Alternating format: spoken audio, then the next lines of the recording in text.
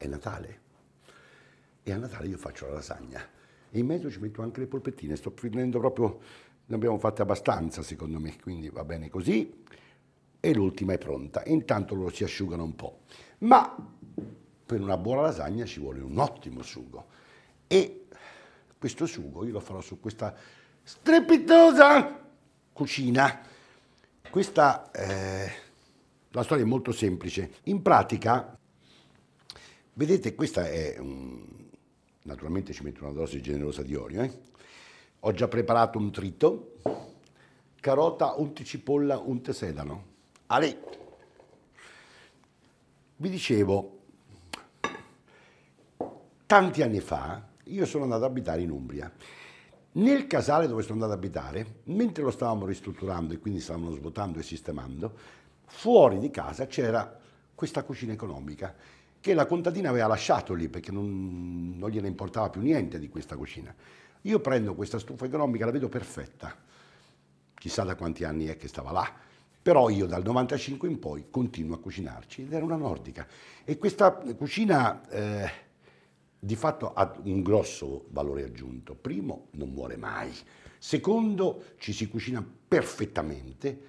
E la terza cosa, non meno importante, soprattutto in questo periodo, è che scalda. E ci puoi mettere la legna, ci puoi mettere la frasca, ci puoi mettere i zeppetti, i zeppettoni, i ciocchi, quello che è. Vedete, fuoco, forno, piastra, questa è tecnologicamente molto più avanzata di quella che avevo io, ma io nonostante fosse vecchio stampo, riuscivo a gestire bene anche le temperature del forno, della piastra, eccetera. Bisogna solo imparare, ci vogliono veramente 5 minuti, bisogna solo capirle. E in effetti sono, come si dice oggi, molto performanti. Per un buon sugo, oltre che tutto quell'erbaceo che ci abbiamo messo e un po' d'olio, prendiamo un po' di ciccia, la salsiccetta precedentemente spellata, un bel pezzo di um, carne non preziosa di manzo, un po' muscolosa, ma tanto si deve cuocere, quindi non c'è problema. Un pezzettino di fine di costa, vedete c'è qualche tenerume che ci fa sì che il sugo venga anche bello corposetto, un pezzetto di pancia e poi naturalmente sua maestà il lardo e questo lo tagliamo subito e ce lo mettiamo. Diciamo così. Ecco. La cotica no, molto molto bene, e poi, visto che io ci dormo fra due guanciali, e ne prendiamo, diciamo, due pezzetti, ma facciamo tre via, sia mai detto. Lo scotichiamo per bene da sotto. Oh, con la cotica non buttatela perché questa codica qui è preziosissima. Ce la possiamo anche mettere dentro, eh? adesso la mettiamo qui. Strittazziamo subito il guancialetto, non lo fate troppo piccolo perché dopo se no non lo trovate più, è bello per sentirselo in bocca dopo quando si mangia, no? E lo mettiamo lì. Poi, un po' dell'altro. Sempre a listrelle, questo tanto si squaglierà, quindi fatelo un po' grossolano perché non, non crea disturbi. È sempre meglio questo che il glutamato monossodico, no? Beh, molto bene. La salsiccetta, un po' sfracagnata. E poi andiamo per tenacia Questo è un po' più tenace come tipo di carne, quindi ce lo mettiamo un po' più piccino magari, perché insomma, adesso voglio dire, no? Là! E anche lei è pronta. Ale. Poi un po' di polpa di manzo, sempre a pezzettini. Allora, adesso noi abbiamo visto che la legna si sta un po' calmando, quindi adesso io metto questo per rosolare bene, ci metterò due pezzetti, così mi si riavviva e il, il rosolare sarà più vivace, che è quello che a noi serve. Là! Ok, e adesso, per ultima, ma non per questo meno importante, un po' di bella pancia di maiale. Lo facciamo a listarelle, ne facciamo diciamo un paio. Ecco qui. Questa ce la buttiamo, tanto casomai che dopo la tagliamo, no?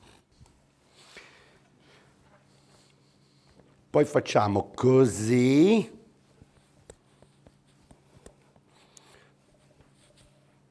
E così. Questa più piccina che si deve disfare. A questo punto, vieni qui anche tu, molto molto bene. Abbiamo sistemato il tutto. Aggiungiamo naturalmente un po' di sale grosso.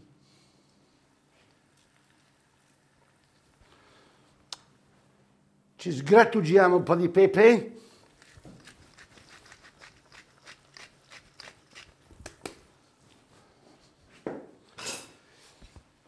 E gli diamo una cosiddetta smucinatina propiziatoria.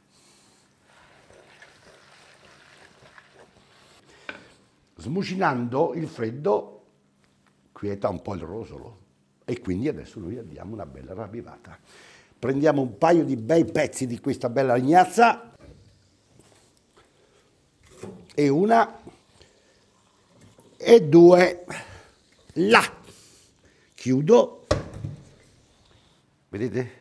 Il tiraggio interno e tutto quello che serve fa sì che lei sia veramente al top si riavviva immediatamente e tutto quanto funziona. Nel frattempo con questa cosa rosola, e la possiamo secondo me anche spostare un po', mettiamo, dobbiamo friggere le polpettine e quindi per avere una bella temperatura ideale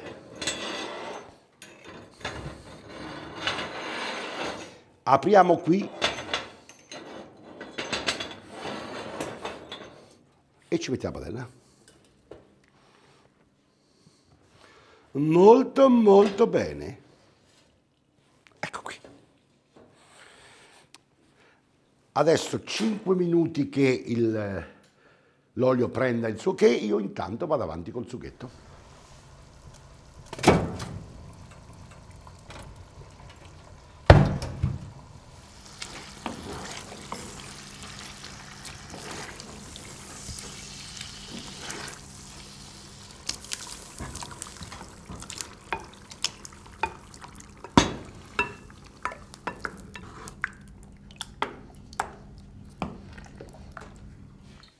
L'olio a temperatura, friggiamo le polpette.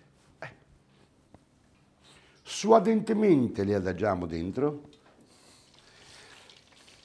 Allora, inizialmente quello che io avevo provato approcciandomi a una situazione di questo genere era il concetto della complicazione. In realtà non è vero.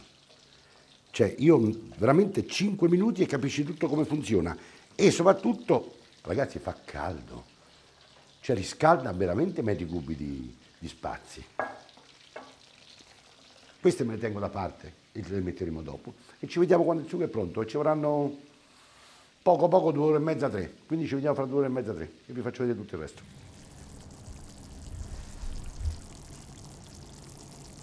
Il sughetto è perfetto.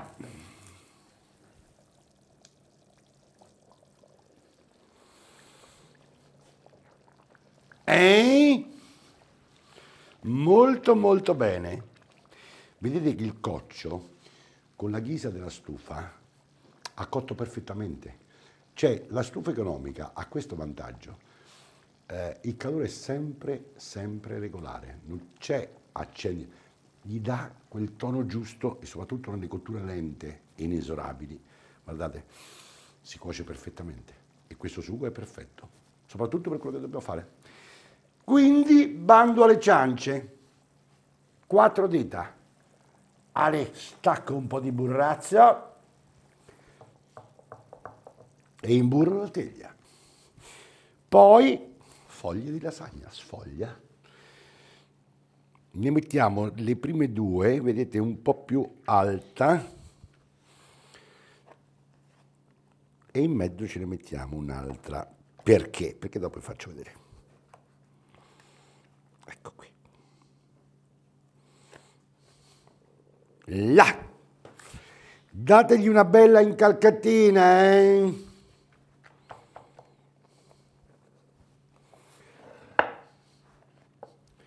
Molto molto bene.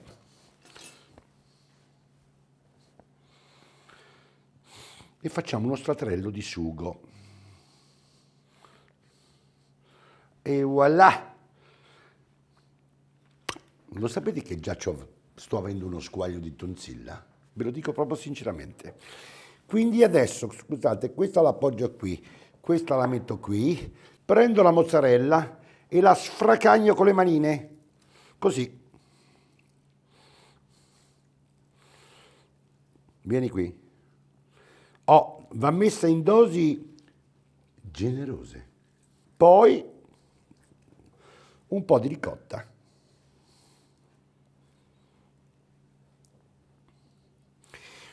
Poi un esaltatore di sapidità naturale, parmigiano reggiano, meglio 30 mesi. Spolveratina e poi adagiamo suadentemente le polpettine. Le mettiamo così, come si dice, no? A porzione, perché poi qualcuno se la deve trovare in bocca sta polpetta, no? Là!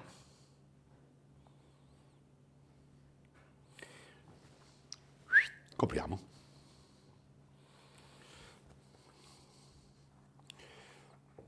Lì, lì, lì, lì. Molto benissimo. Bella incalcatina, eh? Ecco che il sugo venga su, molto molto bene. Ricominciamo da capo.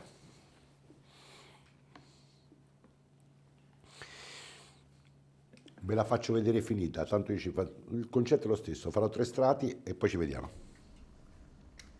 Ho concluso la lasagna ho ripiegato le due alette, ho fatto l'ultimo strato, ci ho messo un po' di pan grattato, qualche fiocchetto di burro, vero? E tutto l'ultimo strato.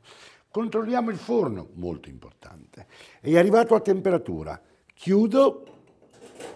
Adesso la fiamma farà questo giro, invece fa tutto il giro del forno, così la lasagna si cuocerà perfettamente.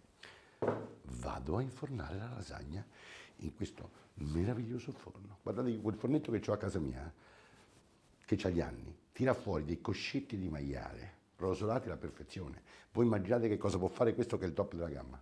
Strepitoso. Adesso apro. Ah! Questa la togliamo. E la appoggiamo momentaneamente qui. Questa la infiliamo sotto.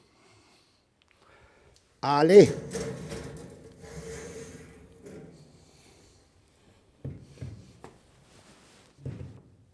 Una mezz'oretta, 40 minuti, eh? Ci vorranno, fra 40 minuti. La lasagna è cotta. E quindi la assaggeremo, no? Non mi trovate molto natalizio? Bene. E adesso faremo un test. Farò una soletta, perché voglio vedere com'è, anche dentro. Suona bene. Là! Ora, essendo stata appena sfornata, praticamente avrà una temperatura pari a 500 gradi Fahrenheit, anzi 200 gradi Fahrenheit, ecco appunto. Però noi possiamo fare un, una cosetta un po' laida, ci freghiamo la polpettina. Vedete la mozzarella? È filante. Molto, molto bene.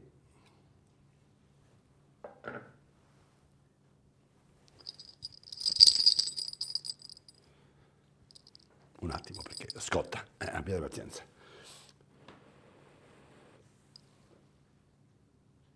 Ve lo dico prima Buon Natale perché se dopo un bustione non riesco più a parlare, fa anche rima.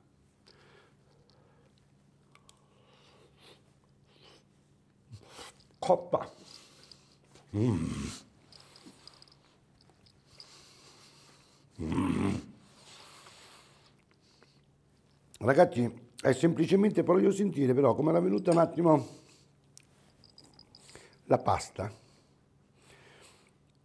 Allora, atto primo, questo forno ha cotto magnificamente. Vieni qui. Atto secondo, avete visto come ha bruscato bene la parte superiore? È tutto un gioco di legna, della semplicità, della tradizione. Come fate a fare questa cosa qui in un orrendo forno? Guardate il fuoco, non dà senso di calore, non dà senso di, di bellezza, di, di, di starsene lì e soprattutto di calma.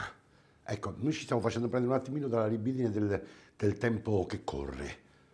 Queste sono situazioni da cose serie, calme, tranquille. Intanto facciamo il test. Eh?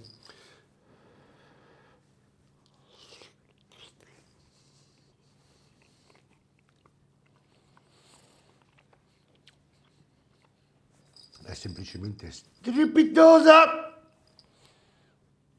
Indugio? Guarda, mi è capitato un pezzetto di ricotta.